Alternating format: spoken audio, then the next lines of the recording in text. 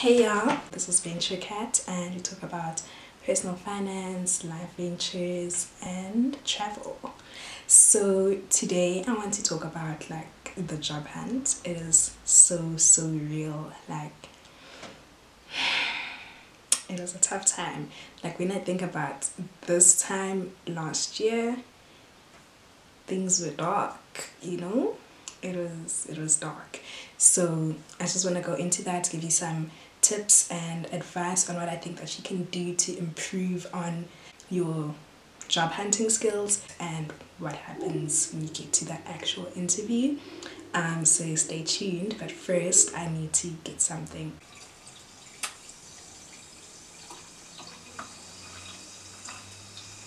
So first find out what you want, like what type of job you want, which career, which area because like you study your degree and usually you can do a lot of different things. You need to figure out what you want um, where you want your career to go and find jobs that align with that.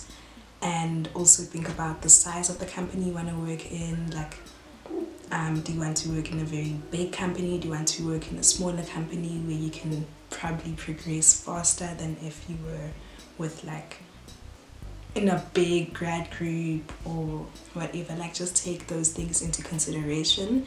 Ask your friends who are already working what where they're working how are they finding it?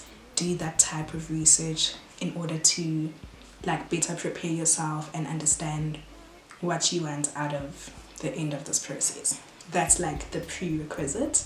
Now you have an idea of what job you want. The first thing you need to do is tailor your CVs for that particular job. So for a particular job or for a particular type of job, make sure that your CV shows your strengths that align with that job that you're looking for.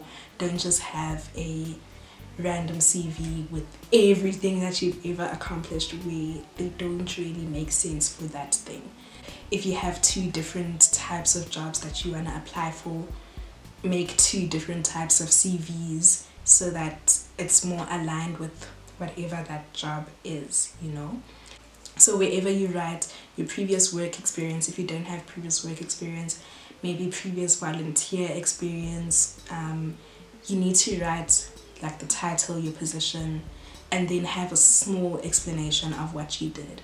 And if possible, have write down how you improved a particular work process. It puts in more effort and it shows the person going through your CV that okay this is what so and so did when they were in this particular job and then also going with that you need to tailor your cover letters for each specific job um, if they require a cover letter not everyone will, will require a cover letter but wherever they do make sure that you don't just give them a generic one size fits all cover letter because like it, you can tell that this cover letter was not written. For me it's just an overall thing and it won't it probably won't get you where you want to go. So make sure that you tailor your cover letters so how I did it I had like three main paragraphs. So the first paragraph would be about me my background and yeah so I'd talk about where I studied what I did at varsity and all of that just a brief overview the second paragraph would be showing examples of the skills and training that are useful for that that job that I'm applying for. Whatever the skill is, have an anecdote of like what you did. And then the third paragraph is about why I want this particular job at that particular company. So you, to, you there you put in your research and you show because I am say so very adventurous a job at a travel boutique would be great for me because of one two three and I know that your company does this type of outreach and whatever whatever the research is you put it in there you show how you fit in as well and why you want that particular company for that particular job. So now you've sent your CV and your cover letters and you've gotten a few responses, there's a few companies that want you to take an assessment before they continue to the interview process. When it comes to these assessments, they usually tell you you don't need to prepare for it um, it's just to check your where you where you're at like you know your mental capabilities what type of person you are all of those things to an extent yes you don't need to prepare for it but at the same time there are types of, like sometimes there's like arithmetic questions and things like that that you're a bit rusty on like so it would be beneficial for you to actually put in some work ask what that assessment is going to be about. So sometimes it is just like psychometric assessments where you can't you you really don't can't prepare for that but there are parts of that psychometric um, assessments where they have like different pictures and with shapes inside them those things were the worst for me. Like i didn't know how you how one thing like they'll give you maybe four different pictures with shapes in between and then they ask you what's going to be the fifth the fifth picture. And i'm just like i don't know. What do you mean? So when it comes to things like that, you can find practice assessments online and they help you, like they boost your confidence. You figure out how to look for these patterns, and it just makes a big difference when you actually go to the assessment because when you see those things, you're not seeing them for the first time. You're like, okay, I've seen something like this. You have a bit of a confidence boost. You're not wasting too much time on each section. You're able to spread out your time better. So, definitely prepare for those assessments. And then there's also different types of assessment it could be based on you know an area of expertise maybe based on what you studied before. Also ask what can i expect in this test? Usually they'll tell you if you do need prepare if you do need to prepare for it they will tell you you need to prepare. This is what you should prepare. Um, look up whatever. Actually like put in the work especially if they tell you you need to prepare. Prepare. Like do your research try to find a couple of questions and yeah. Just prepare for those things because it is a confidence boost. Then if you know anyone who has that job who maybe does a grad program and someone was doing this application the year before ask them ask them what you can expect. If they have any tips um, usually people will be very happy to help. Um, so just ask you will get great advice. I basically I'm, I'm so thankful to um, someone who works at my company and like she literally was helping me for a lot of things. Now you're done you've done the assessments, you've done the in, um, you've sent your CVs and cover letters. People will reject you. I just want to let you know this in advance. And if you're watching this, maybe you have already been applying and you've already got rejections.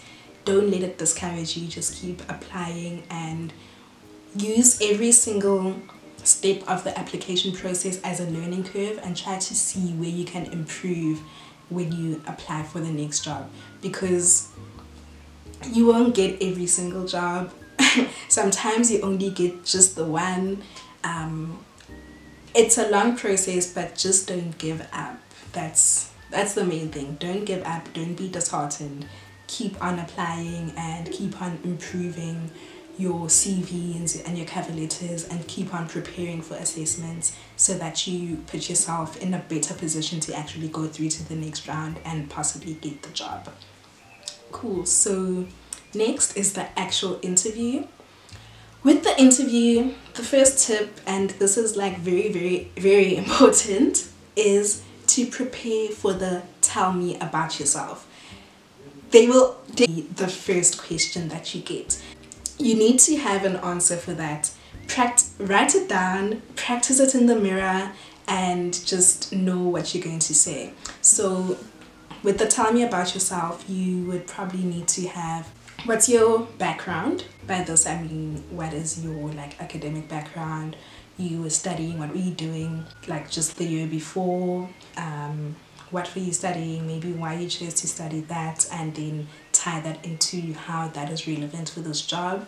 Speak about the certain skills that you have what you like how you are how you work with others things like that. Just any good qualities that would be helpful in you getting this job. So yeah, have like a career background, know what you want to say, what you want to bring across, and then also just know what you'd say if they were like, okay, thank you for that, but also tell me about yourself, like your personality. Have an answer for that as well. I had like a whole tell me about yourself prepared, and then they asked me so like what's your personality like? What what do you like you know? And i was so thrown aback. I was like i didn't know like I, I yeah it's a very difficult question. So prepare that answer as well. And then the next and i think this is my final tip just prepare for for, for the interview itself. You know you've applied for a particular um, job just google say it's consulting so typical consulting interview questions or typical um, articles interview questions i don't know.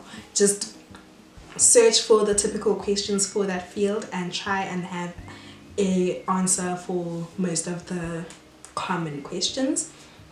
Also just try to have scenarios that you can think of that show maybe your leadership skills or your analytical skills or whatever type of skills that you say that you have so that when it might not come up they might not ask you for give me a scenario when you did this this this this this but sometimes they do ask those questions and if you have like scenarios in the back of your head you can sort of tailor it so that it answers that particular question that they're asking I have them written down. I even had a Google Drive of like interview questions and my answer for different questions.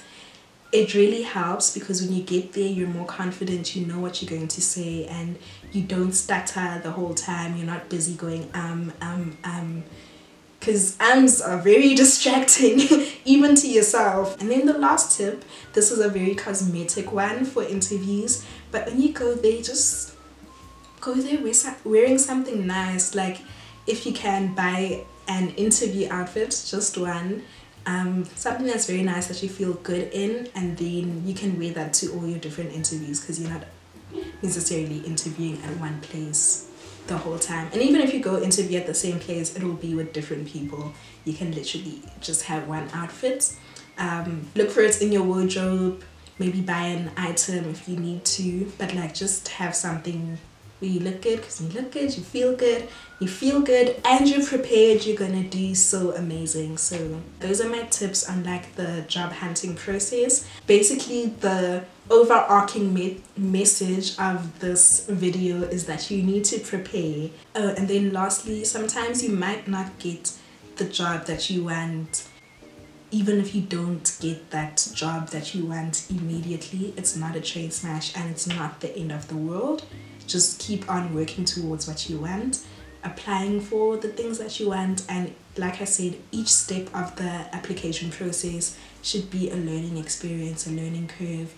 Every rejection just work on it. There was this one company actually that i applied for and i went for case interviews and stuff and they told me um no we really liked you your profile's really good but fortunately we're not gonna take you to the next round whatever but they actually told me what to work on and i appreciated that so so much because people don't usually tell you and it's like I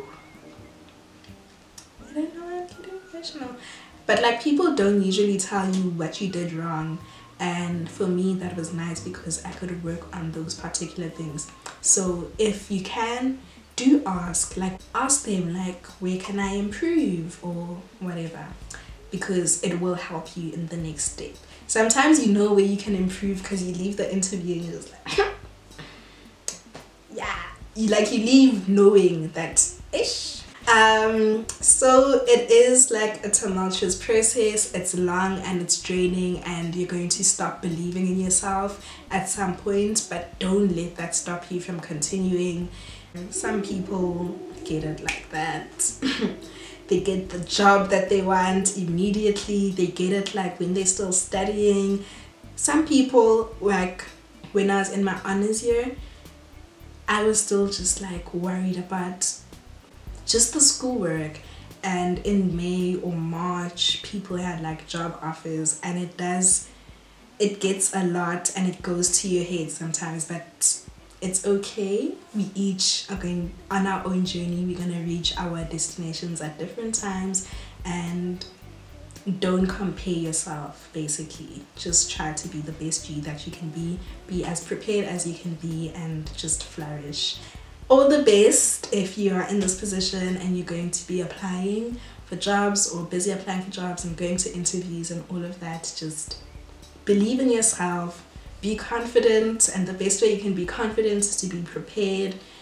Speak to the mirror record voice notes listen to yourself.